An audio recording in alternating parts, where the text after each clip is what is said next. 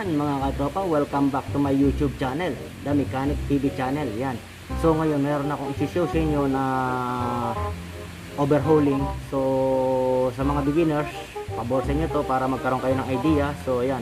Bago ang lahat, syempre, maraming maraming salamat sa mga subscriber, YouTubers, at viewers ng aking channel. Yan, maraming maraming salamat sa inyo mga katropa.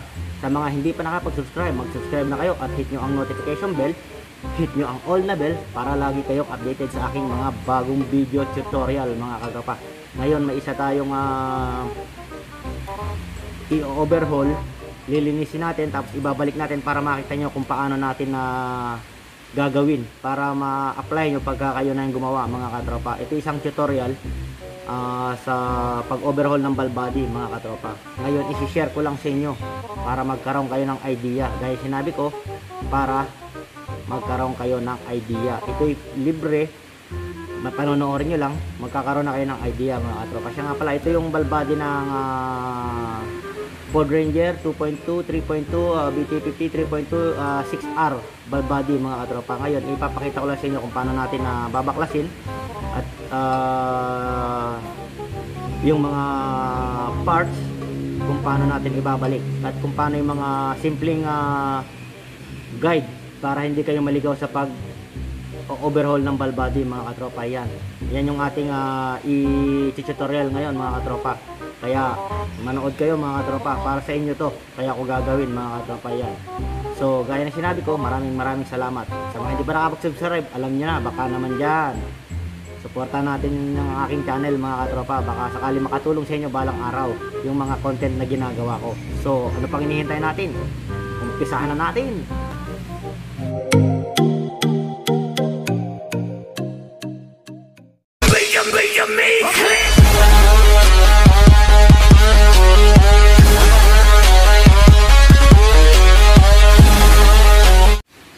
So, ito na mga katropa yung ating uh, ball body, yung uh, 6R ng ball body. So, ngayon, ipapakita ko sa inyo kung paano natin, uh, siyempre madumi pa yan. So, ito yung stock uh, ball body. So, ngayon, ipapakita ko sa inyo kung paano mag-overhaul ng ball body. Simpleng-simple lang at yung mga simple tips na bibigay ko sa inyo mga, katropa. Para pag nag-overhaul kayo ng kahit hindi man gantong ball body, sa mga ibang balbadi so same procedure lang naman mga katropa yan so tsaka yung mga ibang parts na kailangan nyong malaman para sa susunod alam nyo na so ngayon babaklasin natin step by step mga katropa ituturo ko sa inyo step by step kung paano natin babaklasin yung ball body so ngayon siyempre first gagawin natin yan para makita nyo dito yan. Kung mapapansin nyo,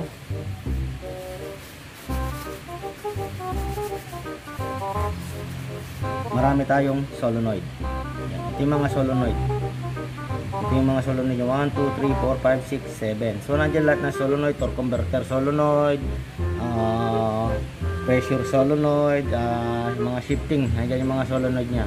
Yung mga trabaho ng solenoid mga katropa, on and off lang yung mga trabaho ng mga solenoid. Halimbawa, nag-shift ka ng first gear. Kung alin lang dyan yung solenoid ng first gear, yun lang mag-on mga katropa. Tsaka yung ibang solenoid na connected sa first gear mga katropa. Yan yung mga mag-on.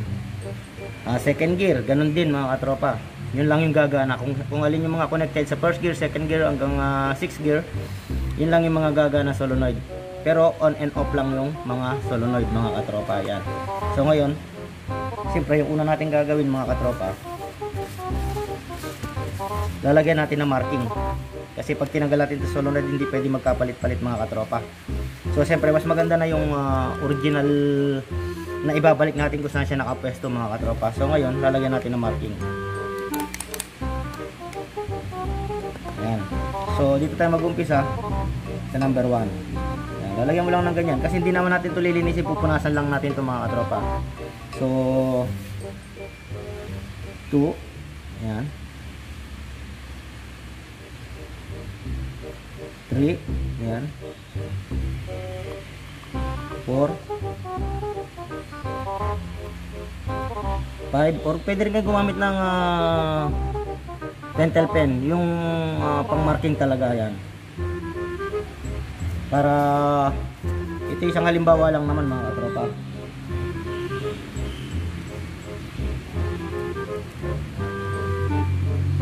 Siyempre yung huli 7.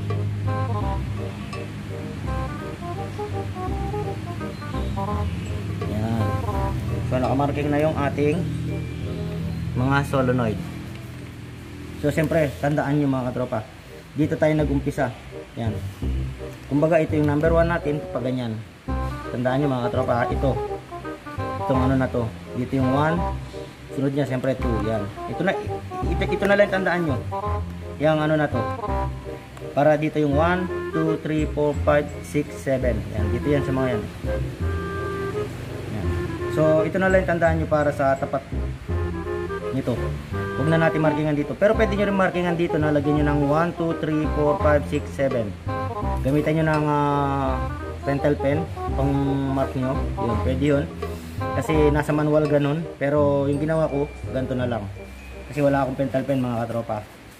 So yan, namarkingan na natin. Yung susunod na step natin mga katropa, tatanggalin natin tong lead frame. Itong itim. Itong itim na to mga katropa. So, siyempre, sa pagtatanggal ng itim na yan, tatanggal tayo ng 6 na bolt. Siyempre, nakakonect ito. 1, 2, 3, 4, 5, 6. 1, 2, 3, 4, 5, 6. Yan, 6 bolt. Ang ating tatanggalin mga katropa. So tanggalin na natin tong uh, lead frame. Siyempre umpisa natin dito. Yan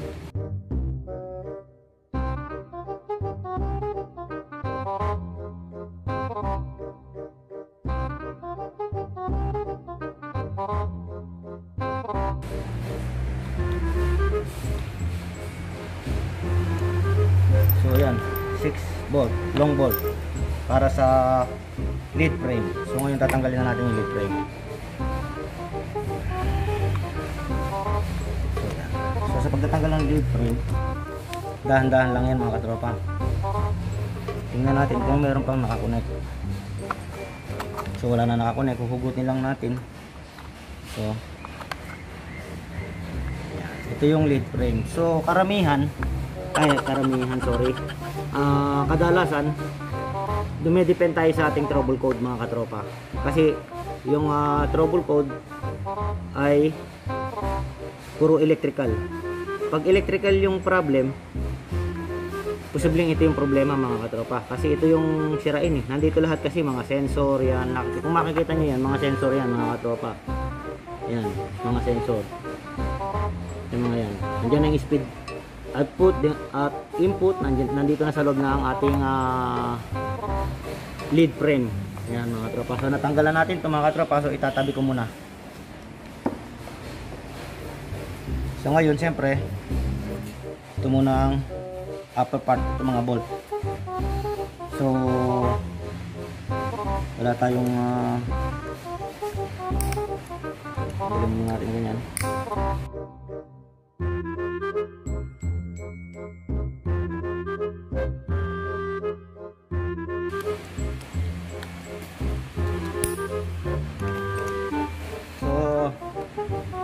nalukan ko na lahat mga katropa.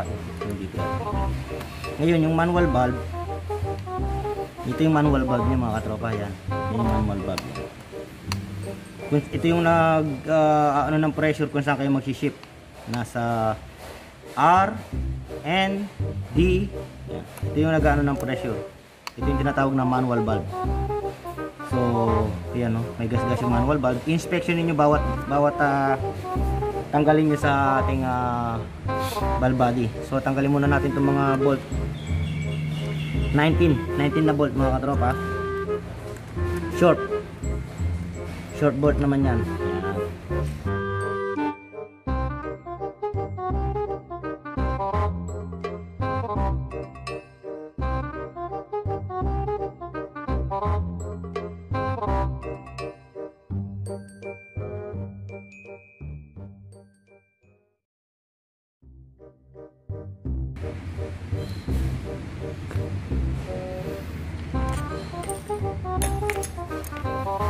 So natanggal na natin yung mga bolt mga katropa. So sa pagtatanggal naman ng paghihiwalay ng upper tsaka lower valve body natin. So kung mapapansin nyo, mayroong plate yan. Yan, kung mapapansin nyo, papakita ko sa. Hiwalay na to. Ay, meron, mer, mer, meron pang isa. Meron pa siyang isa. So, tuturo ko sa inyo kung paano paghiwalayin yung valve body. So ngayon mga katropa, meron siyang plate. Mapapansin nyo, ito may plate. Itong plate na to, yun yung kukunin nyo. Isasabay nyo sa pag-angat nyo dito sa taas na body na to mga katropa. Iiwan nyo to, isasabay nyo itong plate. Kasi, yung lower ng body dito sa baba, ah, meron siyang ah, mga ball. May mga ball yan. ah, check ball. Kasi pag inangat mo na walang suporta tong nandito, meron din siyang mga check ball dito. Sa mga ano to, sa upper tsaka sa lower. So kailangan, pag inangat yan, sasabay mo yung plate. Yan.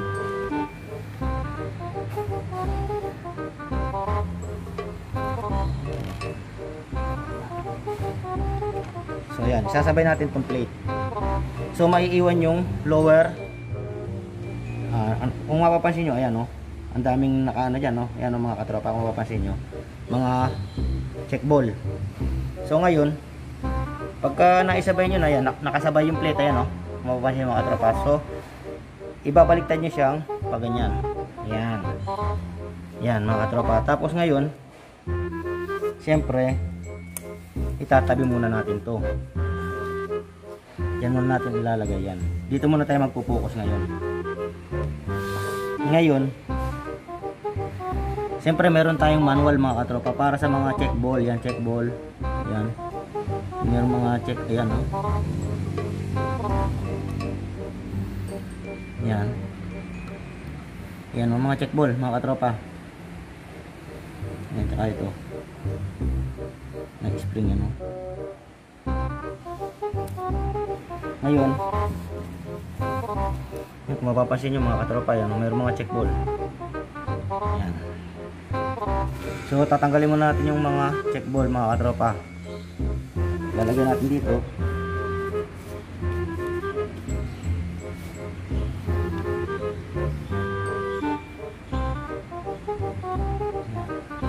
So magkapares lang itong dalawa na mga katropa.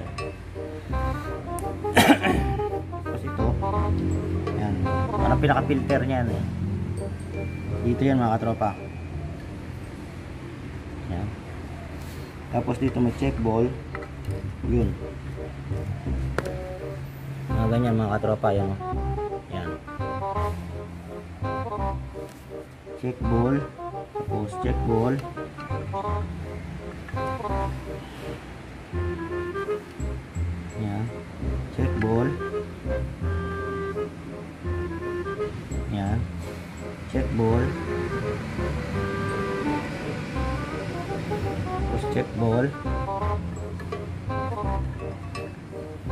Dito siya mga katropa yan oh. Pag nagkapalitan dito oh. Naglalaro oh. Para pares lang naman ang size mga katropa. Yan. Yung ating check ball na yan. So dami.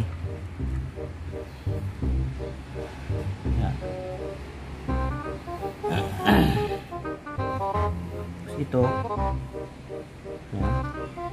Filter pa rin. Ayan o. Filter pa rin o. Yan. So wala na. Natira yung mga lock na lang ng ano. Lock na lang ng mga piston.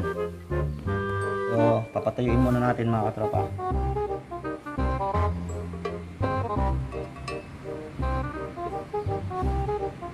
para makita natin yung mga lock ng piston kasi tatagalin natin yung mga piston para makita nyo mga katropa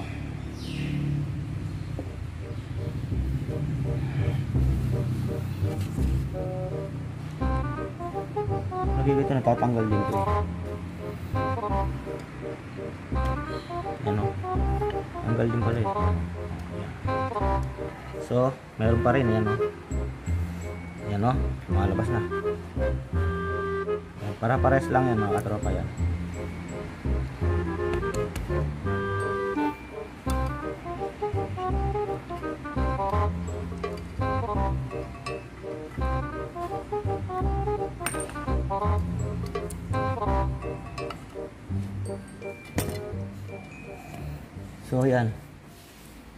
Solenoid damper, yung tawag dito mga katropa.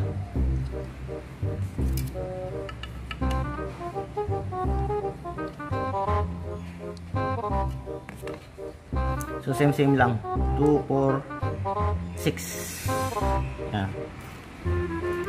Solenoid damper. So ilan lang piston niya? Ito lang. Sa dalawa. Dalawa lang piston nito mga katropa. Halos nandito lahat ng piston. So siyempre tatanggalin natin, lilinisin natin to tapos ibabalik natin tong mga tinanggal natin. So siyempre tatanggalin muna natin. Meron siyang clip. Yan. So yan, ito yung clip niya. So pagtatanggal naman, para hindi kayo malito, ganito gawin natin. So siyempre, beginners, ganito yung gagawin natin. Dalawa lang naman yan mga katropa. Yan. Yan. Dito. Tapos palabasin natin. Spring. Yan. Ayan, piston. So yan. Ganyan lang pagkakasunod-sunod yan mga katropa yan. Tapos yung isa naman.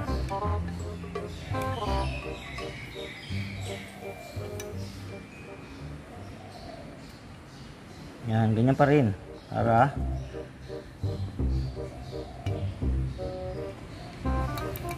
Bakit bakit kailangan natin i-overhaul yung ball body mga katropa? Kasi minsan yung mga piston piston na ganyan mga katropa nag ano yan nag nag-stack up isa rin sa panggagalingan ng ating uh, problema kaya minsan binibigyan ng first step yung overhauling. Overhauling ng ball body halimbawa okay yung mga solenoid natin ganyan okay.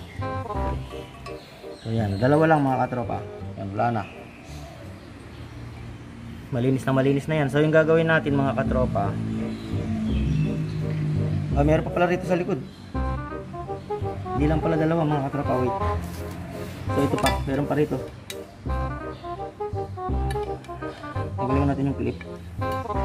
Ganun pa rin mga katropa. Ito yung, tandaan nyo, dito yung sa harap. Lagyan natin ng marking para hindi kayo malito. Ayan, dito. P pwede nyo na malagyan ng marking. Ito yung iaharap natin dito. Ayan. Ayan. So, ito yung dito. So ngayon, ganun din dito sa kabila mga katropa para hindi kayo malito.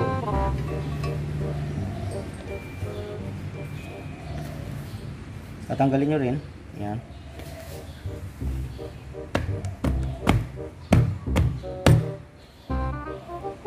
Gamitan natin ng long nose.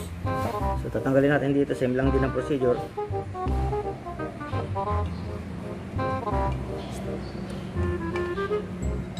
So ayan, makikita nyo yan. Tapos, yan, lumabas na siya. So wala siyang spring. So i-move natin ng konti ito rito para ma-move natin ito ng konti dito. So yung isa naman,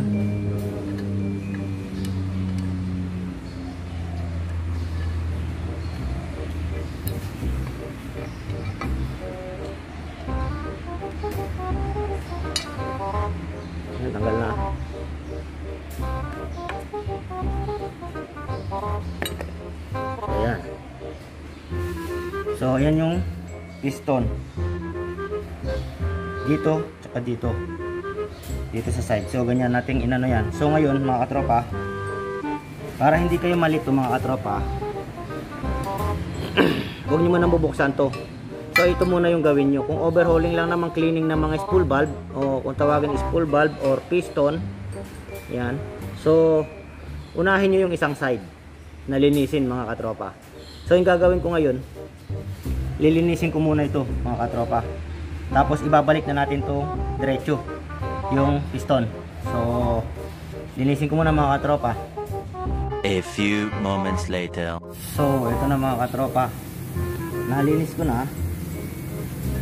So, ngayon, ah halimbawa mga katropa, yung ah, body nyo ay yung trouble ay pag mainit na tumakbo na ng medyo malayo uminit na siya so bigla ka na lang humihinto. Bigla na lang nawawala yung shifting mo. Na-encounter ko na yan mga katropa.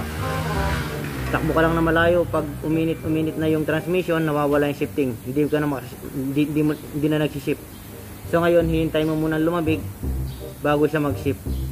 So yung nakita kong trouble ay body so ibig sabihin yung valve body nag-overheat din yan mga katropa. So aluminum ito pwede siyang bumaluktot mga katropa. Pwedeng sumingaw. So pag sumingaw wala kang shifting. Maglulok yung shifting mo. So yung ginawa ko dun sa Hyundai Matrix na nag-overheat in-overhaul ko yung valve body. So nagpahanap ako ng ah, valve body kit yung gasket. Kasi merong gasket yan plate tapos gasket mga katropa yan. Ito kung makita nyo ito ito yung gasket nyan so nagpahanap ako. Yung ginawa ko pabili ako ng sandpaper niliha ko to mga katropa. Yan niliha ko yan pati yung sa kabila niliha ko yan. Basta't yung connect ng nag, magkaasawang ganyan naka, naka ano sa plate niliha ko yan. So sa pagliliha naman ito mga katropa hahanap kayo ng salamin. Siyempre ito malaki to. Or mga ganyang kalaki salamin pwede na yan. Tapos ilalatag nyo yung ah, sandpaper nyo tsaka nyo lilihain ng paganyan. Sa salamin na mga tropa para pantay yung pagka ano nito para pantay-pantay. Minsan kasi hindi nagpapantay-pantayan pag nag ano na yan overheat nabibingkok na yan. So nagkakaroon siya ng leaking. So nawawala yung pressure. Kaya minsan pag uminit na bigla ka na lang hihinto or magluloko yung shifting mo mga katropa. So ibig sabihin meron siyang pressure na kumakawala mga katropa. Hindi solid yung pressure mo. Yan mga katropa. Pwedeng lihain to mga katropa pero sa salamin. Yan, huwag niyo lilihain na pa ganyan mga katropa, hindi pwede. So kailangan nakadapa siya sa salamin, nakaplat siya sa salamin tapos nasa ilalim yung lihang pino para malihan niyo to mga katropa ng maayos. Yan. So yun lang yung isang ah, experience ko mula nung ako'y nagmekaniko natutong mag-overhaul ng automatic transmission. So yun yung na-experience ko. Yun yung tinuro sa akin ng aking ah, master. Yan. Nung ano pa, unang-unang uh, nag-umpisa ako, yan yung tinuro niya sa akin. Effective naman mga katropa. Lalong lalo na nagkakaroon kayo ng problema ng uh, matyam, parang ah, minsan delay shifting pero walang trouble. May shift shock, may kaldog pero walang trouble. So, yung mga ganong case, pwedeng mangyari yung ah, pwedeng mangyari yung mechanical problem kasi wala kang trouble eh mga katropa kung electrical problem yun meron ka ng problema sa solenoid sa wiring ah, sa TCM yan. Pag may, pro- may, may problema yung transmission yun na wala kayong ma-detect na trouble ibig sabihin mechanical ah, problem yun mga katropa. Naglulus ng pressure either yung nandyan na yung sliding yung clutch nyo nandyan na yung ah, singaw na sa may o-ring sa may piston sa loob yan. Or other other defective parts sa loob na may, ng transmission nyo mga katropa nandyan na yung durog na yung bearing kaya nagkakaroon ng problema so yan dalawang klase kasi electrical at mechanical lang naman yung magkakaproblema sa transmission mga katropa syempre checkin nyo yung unang una yung ATF nyo mga katropa siguraduhin nyo na okay yung ATF nyo, kompleto yung ATF nyo, maganda yung ATF nyo. Yun. Isa pa pala mga katropa, ibigyan ko kayo ng tip. Yung minsan, yung, ma, yung ma, maduming ATF, nagkakaroon ng caution. Pero bihira magkaroon ng problema kapag madumi yung ATF mo mga katropa. Kapag once na nagka, nagka-problema yung ah, automatic transmission, either nasa balbado yung problema, nasa loob ng ah, transmission yung problema, yun yung mga problema pero minsan na, nadadala sa palit ng ATF pero bihirang madala yung problema ng transmission sa palit lang ng ATF mga katropa so kaya minsan masarap mag-overhaul ng, ng transmission ng ah, automatic transmission kaysa sa manual mga katropa. Kasi dito sa automatic transmission puro clip lang yan mga katropa. Bibihira ka magpukpuk dyan mga katropa. Hindi kagaya sa manual puro ka pukpuk pukpuk yung bearing mga ano mga ganyan di ba? So yung automatic transmission yung mahirap lang yung mag troubleshoot yung mag-diagnose. Yung ma-confirm mo kung yun talaga yung problema. Yan. Pero kung gusto mo siyempre mag-practice pwede mo naman siyang isa-isahin magumpisa ka muna rito Tapos pag okay mo okay yung mga wiring mo, okay yung mga solenoid mo, ibaba mo yung valve body, overhaul mo kagaya nito mga katropa. So try and error lang naman kung gusto mong matuto. Ganun talaga. Ako nga pinagdaanan ko yung mga ganyan mga katropa. Hindi naman ako nagumpisa sa agad-agad, alam ko na lahat. Marami akong pinagdaanan na hirap bago ko na pag-aralan yung automatic transmission mga katropa. Bibihira, ah, bibihira yung yung hindi yung makachamba ka mga katropa. Pag nakachamba ka, swerte mo. Pero talagang mahirapan ka muna. Pero kung kabisado mo na yan mga katropa, ah, na-experience mo na ng matagal-tagal, kabisado mo na yung sira niyan. Ah, sa pag shifting pa lang or test drive pa lang, alam mo na kung ano yung problema. Basta kabisado mo na yung buong system ng transmission mga katropa. Napa-electrical yan, mechanical yan, balbadi yan. Pero, nandyan pa rin yung tinatry natin. Tinatry natin kung alin yung ah, may problema. Kumbaga, try and error mga katropa. Hindi naman tayo perfecto para agad-agad sabihin natin yun yung sira. Kailangan natin checkin. I-confirm kung yun ba talaga. So, marami pa rin proseso yung gagawin natin mga katropa. So, yan. Na-share ko lang yung konting ano mga katropa. So, buuin na natin to. Gaya na sinabi ko, isa-isahin isa-isahin nyo. Yung munang isang side bago kayo pumunta sa isang side para hindi kayo malito mga katropa yan. Nakita nyo yan. Inano natin. So, syempre, sa pag-assemble yan, nalinis na natin to. Halimbawa, nilihan na natin to. Halimbawa, nalihan nyo na mga katropa. So, bubuin nyo na ngayon. sa pagbuo naman mga katropa, So unahin ko na rito para ay un, unahin ko na rito. So ngayon 'di ba ito piston. Ito yung spool valve na tinatawag nila. So pupunasan ko na lang 'yan. Yan, punasan na lang natin. So punasan na lang natin. Tapos siyempre bago natin ilagay dito, ATF muna yung katapat niyan mga katropa yan. So papadulasin natin 'yan. Siyempre. So saka natin lalagay. Yan. Tapos siyempre yung spring. Sausaw mo lang lahat mga katropa ganyan.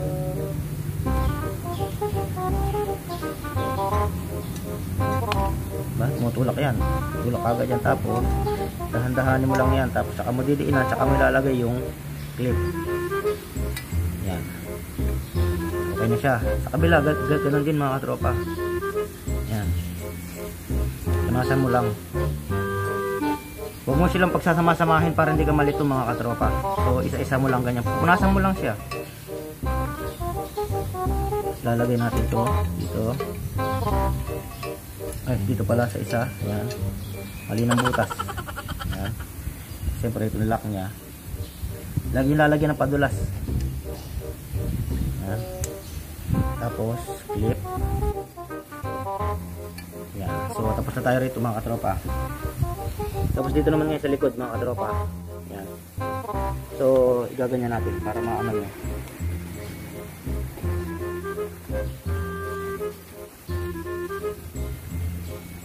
So, ipipihit natin. Yan. Siyempre, ipipihit din natin itong ganito. Yan. Para makita nyo mga katropa. So, unahin natin to Spring muna. Yan. Tapos, piston.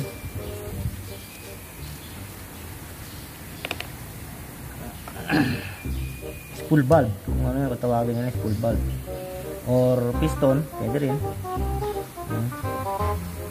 Tapos yung yung lock. Tapos siyempre yung clip mga katropa. Yan. Dito naman sa kabila ganun pa rin. Yan. Spring. Siyempre piston Laging nakalubricate mga katropa. Tandaan nyo. Para suwabe yung pasok. Siyempre itong lock niya. Huwag nyo, ipap huwag nyo ipipilit kapag tabingi yung pasok mga katropa. Kailangan na suwabe. Siyempre yung clip. So yan. So nakabit na natin yung ano. Ganyan yung pwesto niyan.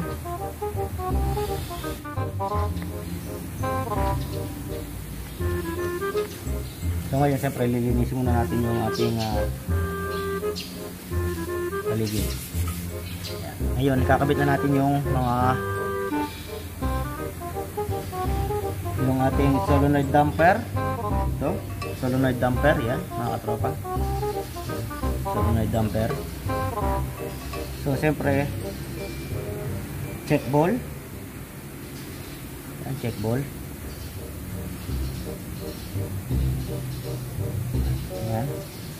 Yung ah, converter drain back valve. Yan, meron siyang spring. Drain back valve. Tapos yung ating ah, large filter screen. Yan, large filter screen.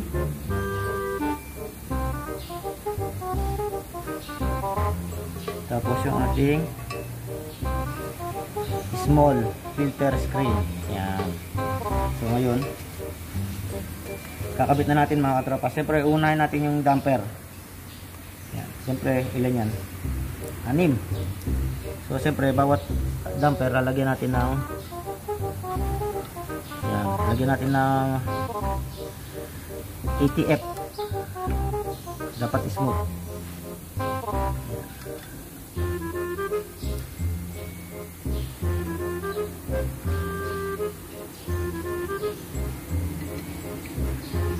So yan mga katropa.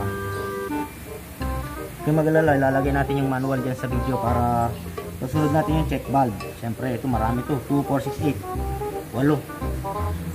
So,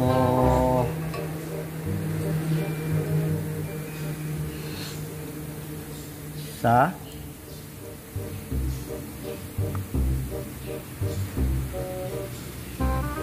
dalawa, dalawa tatlo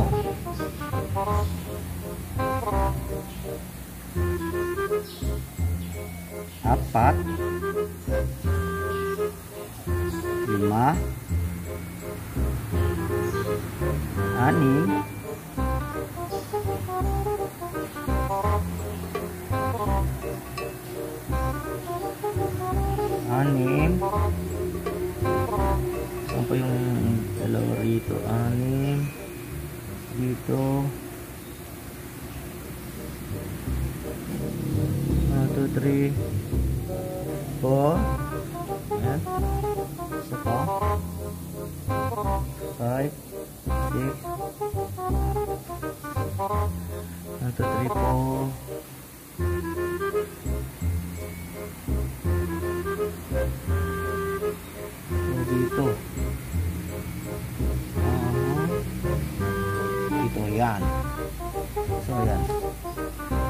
tayong manual, kasi dati yung ginagawa ko mga katropa, pag walang manual yung uh, valve body na ino-overhaul yung ginagawa ko, alam niyo ba yung maliit na maliit na ano, alam niyo ba yung matalim na screwdriver?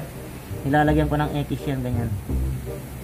Ini-Xan ko ng pero hindi ko siya binabaon, yung ano lang, yung ma basta minamarkingan ko yung merong ano. Yan, example lang yan mga katropa. Tal ito tutorial lang naman. So, wag niyo lang siyang iya ano. Wag niyo lang siyang ididiin ng maigi mga katropa. Basta magasgasan lang, matandaan niyo lang kung saan merong ano. Kung saan merong ball. Para pagbalik ng ball, yan, halimbawa yan. Para alam niyo kung saan nilalagay yung ah, check ball. Yun yung isa kong ah, idea mga katropa pag walang manual. Siyempre, pag wala kang manual, dahan-dahan mong yan. Ano. So, kakabit na natin yung mga filter. So, dito siyempre, yung malaking filter. Yan. Malaking filter. Tapos, maliit na filter. So, dito, yan. So, yan. Tapos ngayon itong converter drain valve. Ito hindi naman naligaw, meron na siya malalim eh, yan oh. Nakaganyan yung dito eh, no? Eh, dalawa yun, sana punta yung isa. Ah, ito pa. So, yung isa is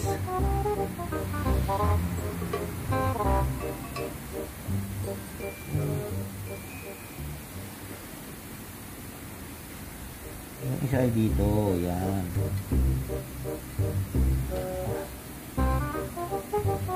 So yan. Pares lang naman ito ng haba eh. Pares lang ng haba. Ayan, ganyan.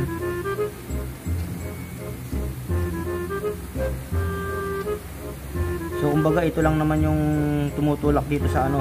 Yan. Dito sa ano yan dito. Sa plate ito. Ito yung sumasara dyan. So yung ilalim bali ano lang yan. Bali wala yan. Nagdidrain niya pa ganyan yan. Tutulak ng pressure. So yung nga palang tatlong force ng ah, pressure kaya gumagana yung ating ah, transmission. Unang pressure natin ay unang force natin ay pressure force. ah, spring force. ah, friction force. So yung pressure, yung manggagaling itutulak yung pressure ng ah, ATF papunta sa mga linya-linya. So kapag ka nag-shift ka ng D, first gear, so pupunta doon yung pressure sa kung saan yung first gear na na clutch. So ngayon, yung pressure itutulak niya yung piston. Tutulak niya yung piston para itulak ng piston yung yung clutch natin. So magkakaroon ka ng friction. So friction, yun. Ah, pressure force, spring force, tsaka friction force. Yan.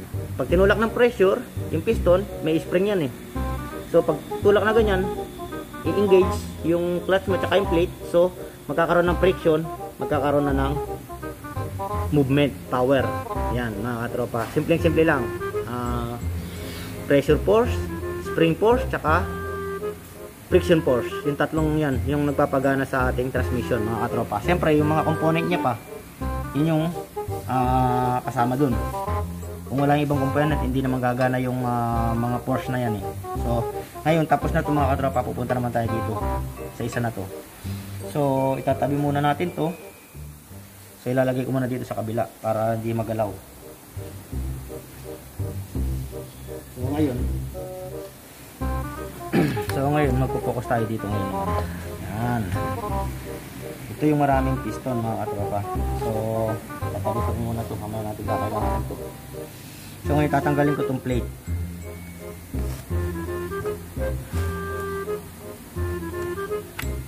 So, yung plate yan. Dahan-dahan yung tatanggalin yung plate. Yan. So, siyempre mamaya, ayan o, may gas-gas yan. Ayan o, nagasgas na siya. Kung tutusin, hindi po pwede maganyan na may mga gas-gas. Ay, hindi pala gas-gas, dumi lang. Pero may makikita natin yan pag nilinis natin mga katropa. So, ilalagay ko muna siya rito. Wala naman nakadikit. Ayan. So, ngayon,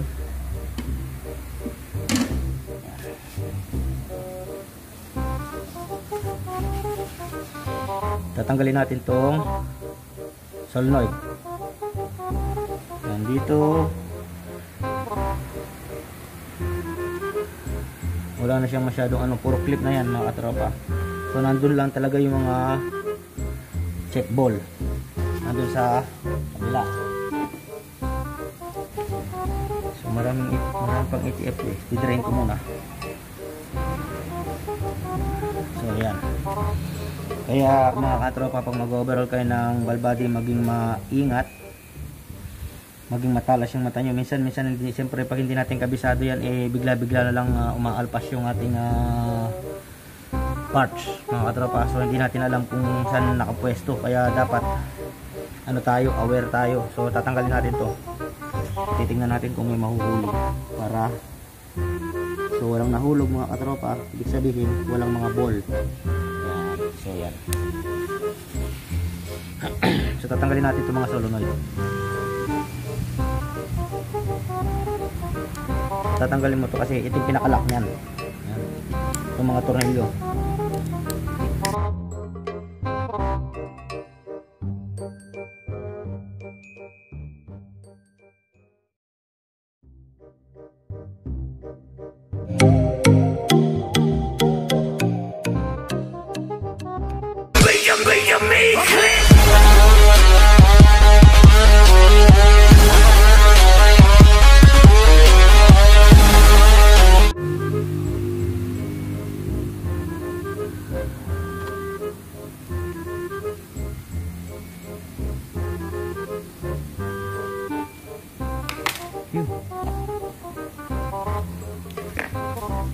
natanggalan natin yung ah, mga bolt tanggalin natin tong clip mga katropa. Ito kasi yung lock niya mga katropa. Yan, oh. Oh.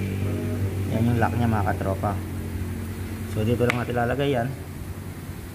Siyempre, hugutin natin yung mga solenoid.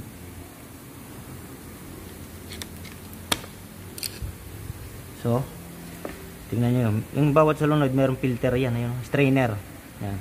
So, number 7, siyempre, gaganyan lang natin para hindi tayo malito mga katropa. Para hindi siya magkapalit-palit. Tandaan nyo. Yan. Isa pang ano, number 1. Yan. Markingan nyo rito. Yan. Ito, walang problema kahit idiin nyo yan.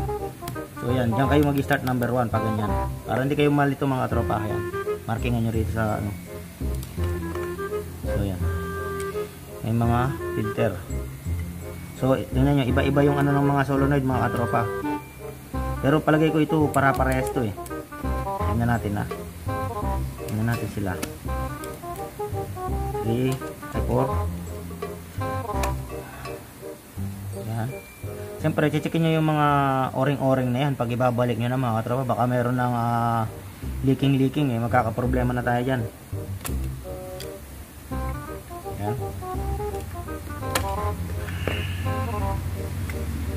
So naobserbahan ko mga katropa. Tingnan natin 'to. So itong dalawa. Yung magka magkaiba. Pero ito almost para pareho lang. Yan. Eh, di yata naiiba. So almost same lang itong dalawa lang. Palagay ko ito yung isa man dito yung ah, torque converter solenoid tsaka pressure dito sa dalawa na to. Itong mga to shifting mga katropa yan shifting. Kung hindi ako nagkakamali ah. Yan pero kaya nga tin- tinandaan natin halimbawa wala naman tayong issue sa solenoid kaya halimbawa lilinisin lang natin yung ball body so kaya tinandaan natin yan. So ibig sabihin wala tayong problema sa mga solenoid. So ang ang ano natin dito ang ah, ating ah, content yung overhauling kung paano mag-overhaul ng ball body mga katropa. Yan So ngayon,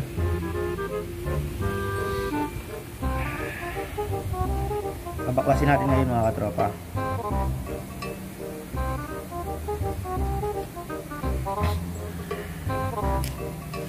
One, two, three, four, five, six. One, two, three, four, five, six. Yan. Silang lahat mayroong piston. So ngayon, ilalabas natin yung kanilang piston. So, siyempre para kumapit, lagyan natin ng kasi itatapat natin sa kanila eh mga katropa para hindi tayo malito. Ganyan lang. Simple simple lang. So ngayon ito yung clip niya dito.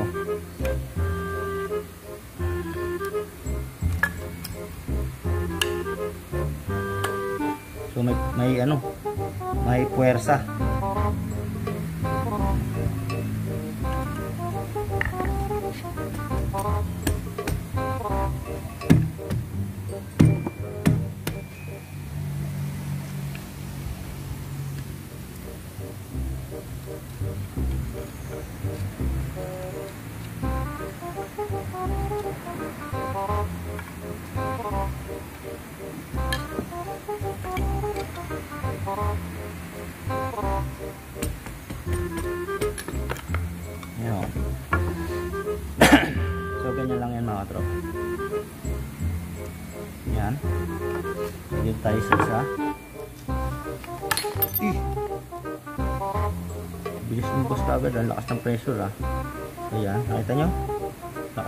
Hindi ko nahawakan agad.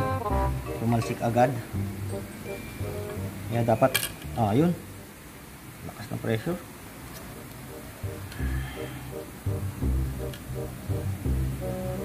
Tandaan nyo yan. Sunod-sunod.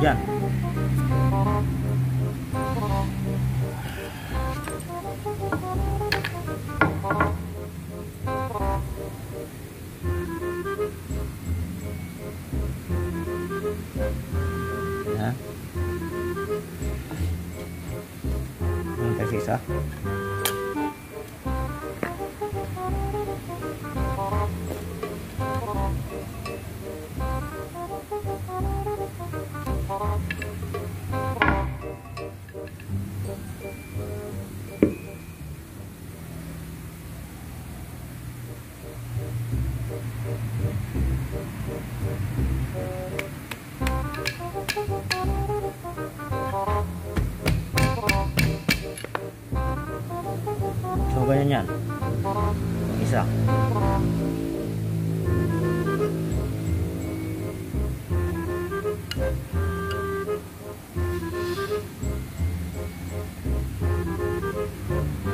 tingnan nyo yung pagtulak ng spring kung alin yung mauuna mga tropa.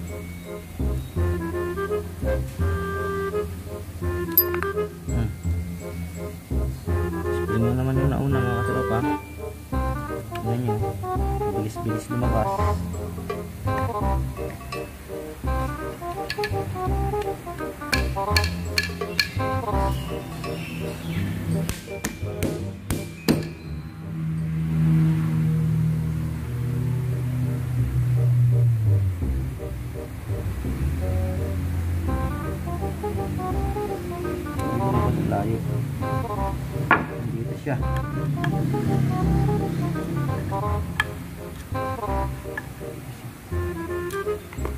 Layo. Yun.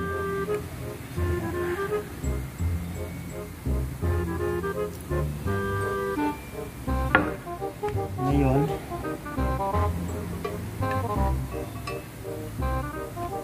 ito na yung nandito. Ito wala. Dito yan eh.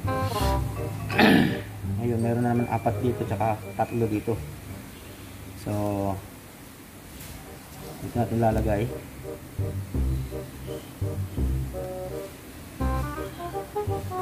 Siyempre, ganyan, para dito malito. Ito unahin natin.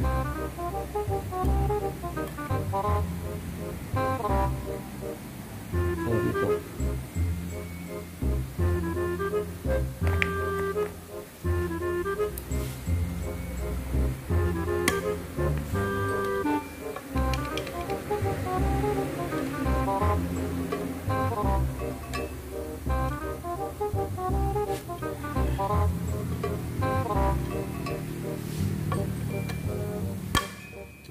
Kasi naglalaki yung ano niyan kaya ayaw lumabas. eh. Pero try natin itulak.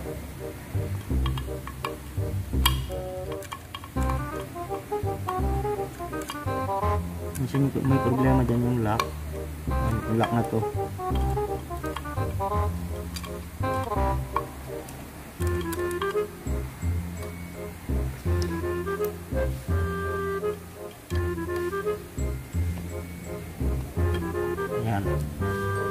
Kaya minsan ito, pwede yung lihain ng lihang pino mga katropa.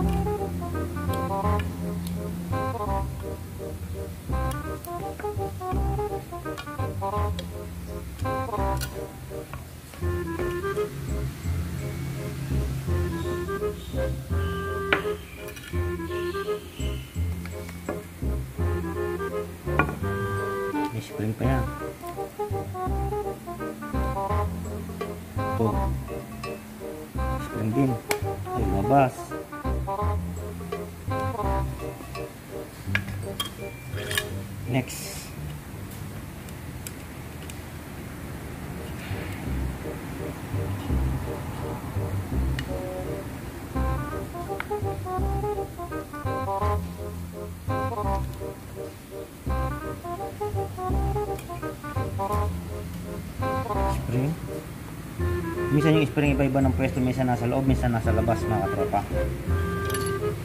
Ayan, tulad nito. Yan, baliktad naman siya ngayon. Yan, ganyan. Diba?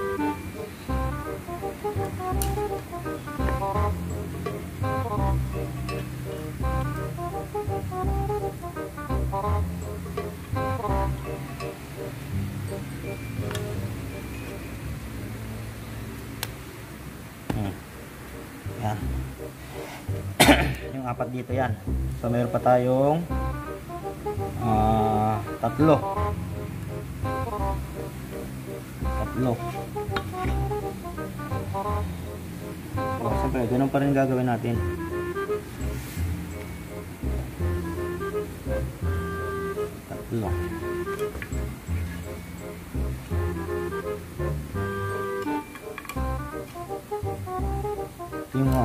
Ah, to. Ito yung regulation, regulator.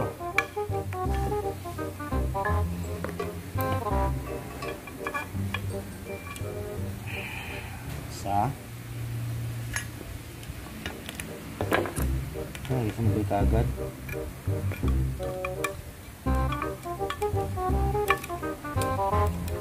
Tapos pag sikwat-sikwat ng ganito mga katropa, ingat-ingat kayo, baka magas, mag, mag, magasgasan nyo yung mga piston. Hindi magagasgasan mga katropa. Kaya dapat ingat-ingat. Yan.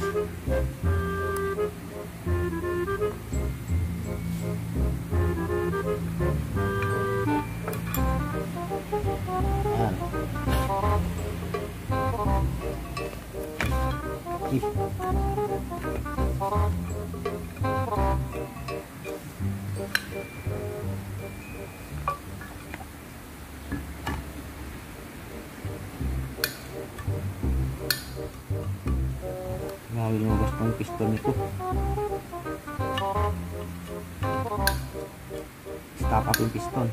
Yung lock niya. Hmm. Labas yung spring. Ito yung hirap minsan. Yung pinaka lock niya mga katropa. Nag-stuck. Yun.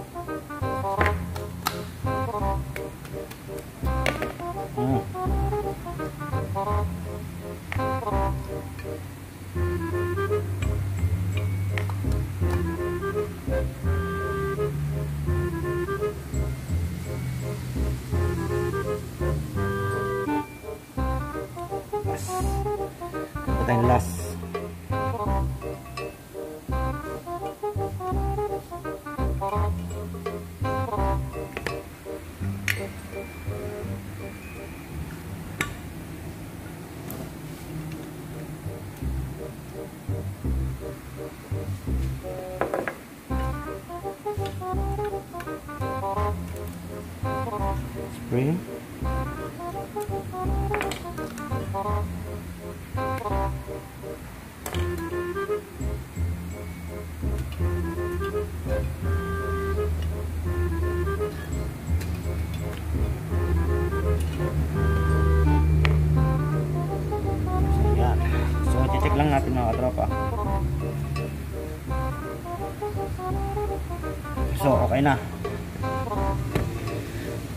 Wala na yung mga piston na. Nakalabas na lahat. Yan mga katropa. So, ito, ito, ito, dito. So, ito, dito mga katropa. So, yan, dyan. Sa may ah mga solenoid. Ito, ito wala. Dito to.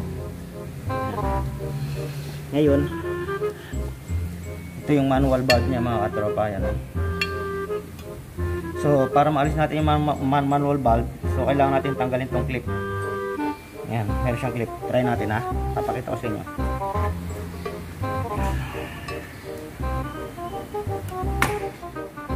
Pero ingat kayo, baka mawala itong clip. Mukhang mahirap maghanap. So, siyempre, yan. Oh, may gas-gas ah. May tama rito ah. Tayo lumabas.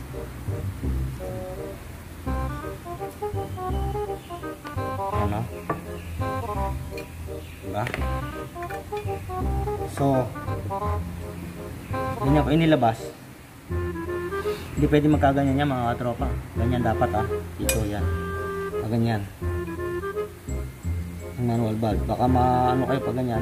So, hindi rin kayo malilito kasi ito yung nandun sa ating ah, ganyan. Ayan. Mapapansin nyo. Ito yung pinaka-inhibitor switch niyan mga katropa. Yan, kung mapapansin nyo yan. Nandito na yung pinaka-inhibitor switch niyan mga katropa.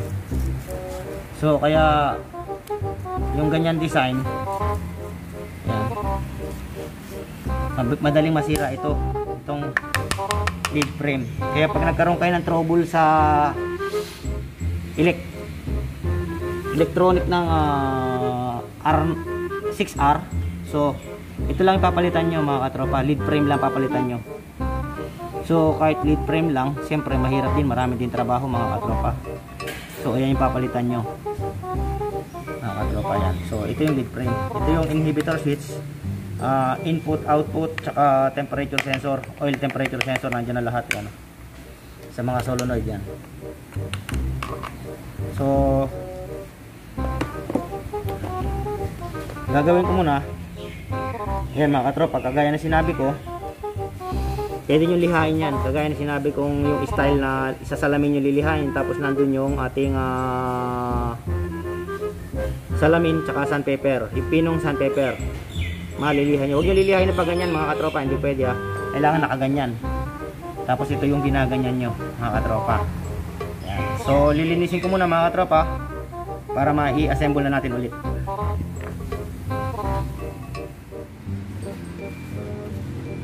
So, ayan mga katropa, sana nakakuha kayo ng idea kung paano mag-overhaul ng uh, valve body. Ah, yan yung mga simple ah, tips lang mga katropa. Sana ah, magamit nyo balang araw mga katropa. Simple lang naman yung valve body nitong ah, 6R. Ganun-ganun lang yung nasa loob niya mga katropa.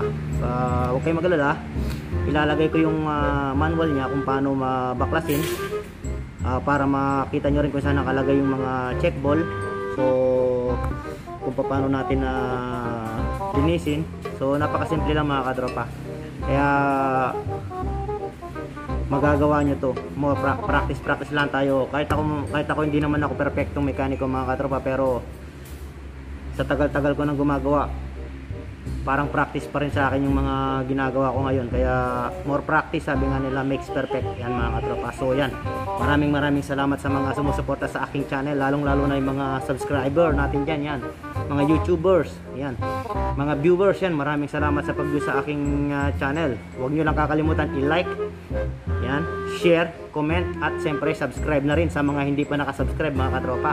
At hit nyo ang notification bell para lagi kayong updated sa ating mga bagong video mga katropa. So, hanggang sa muli, stay safe, stay tuned, God bless, bye! Thank you for watching mga katropa. See you my next video.